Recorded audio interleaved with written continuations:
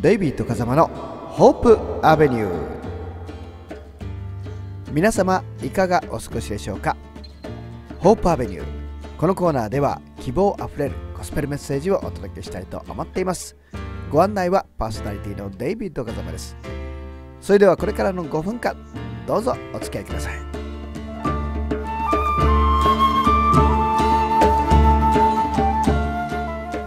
はい皆様いかがお過ごしでしょうか？2月ですよね。2019年2月ということで、えー、今1年の中でも一番寒い1ヶ月を迎えているのではないかなと思います。でもその中に春への兆しというのも出てきているのではないでしょうか。え先日ですね私もちょっとあのインフルエンザにかかりましてですね、え結構あの大変でした。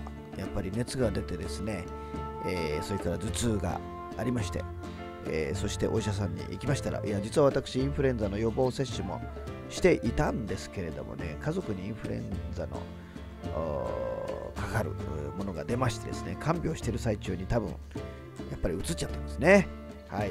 まあそれで結構1週間ぐらいですね、えー、大変でした。でもですね、まあ、無事治っているわけなんですけれども、まあ、そんな中で思った言葉に、えー、バイブルの言葉にいつも喜んでいなさいと。えー、rejoice always と、まあ、英語で書いてあるわけですけどもね。えー、ですから、こういうふうに私はですね、えー、書きました。あるところにね、えー、妻もインフル。ねえー、あ、間違えました、えー。妻がインフル。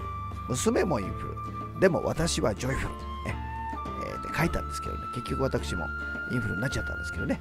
はい。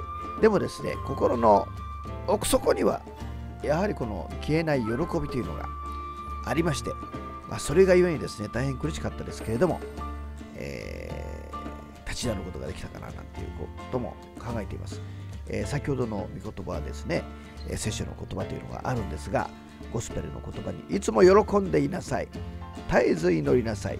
すべてのことについて感謝しなさいというね、この3つの大きなことが書かれています。まあ、人生2019年においてもですね、えー、この原則は一緒だなといつも思っています。いつも喜んでいなさい。まず喜ぶ、joyful。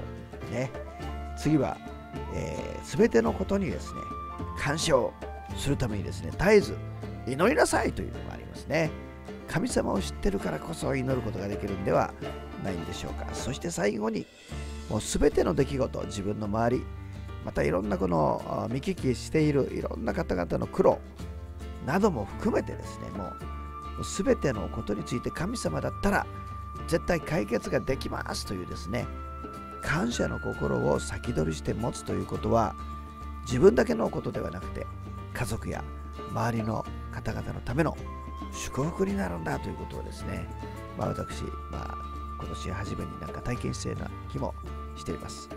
え苦しい苦しいとかね、大変大変って言ってるだけではですね、やはりその、まあ、なんて言うんでしょう、否定的な情報ばっかり先に言っちゃうんですけども、どんなことがあっても、まあ、インフルエンザ、まだ、え、流行していますでしょうか。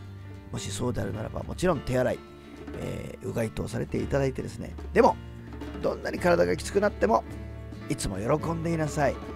絶えず祈りなさい。すべてのことについて感謝しなさい。これがキリストイエス、ジーザス、クライストにあって神が私たちに望んでいることだとゴスペルに書いてあるんですね。え今日改めてこのゴスペルの言葉を思い出したいなと思ってお話しさせていただきました。どうか、えもし今病気になっている方いらっしゃったらね、え、大変なんですけれども神様にあって必ず回復への道が用意されていると私は心からお祈りさせていただいております。それではまた次回お会いいたしましょう。今日のご案内はパーソナリティデイビッド風間でした。See you next time. God bless you and please remember Jesus loves you. Bye bye.